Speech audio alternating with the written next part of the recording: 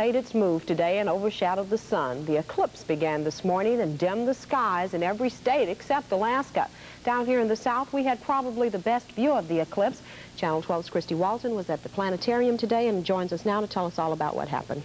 As you can see by looking at that graphic a moment ago, we weren't in the optimum path for viewing that eclipse, but we were in a place here in Shreveport to get a real exciting view of the eclipse. We were out at the Spar Planetarium this morning. There were lots of people, probably about 100 people and their children had come out and they were taking advantage looking through telescopes and that sort of thing.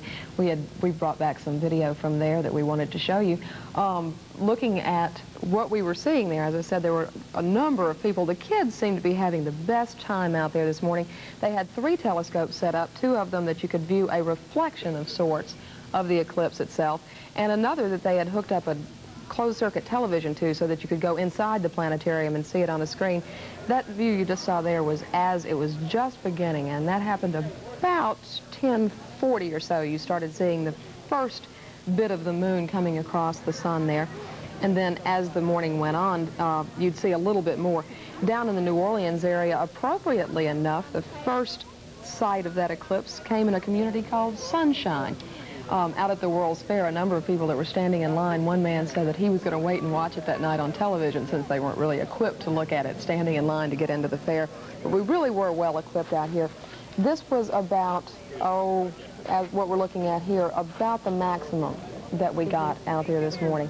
Um, had about a 90% coverage. What was surprising, um, we did not get the darkness you might have imagined that uh, some people may have been expecting, maybe but it did feel rather duskish almost, like oh, four or five o'clock in the afternoon would be the way it felt with the sunshine.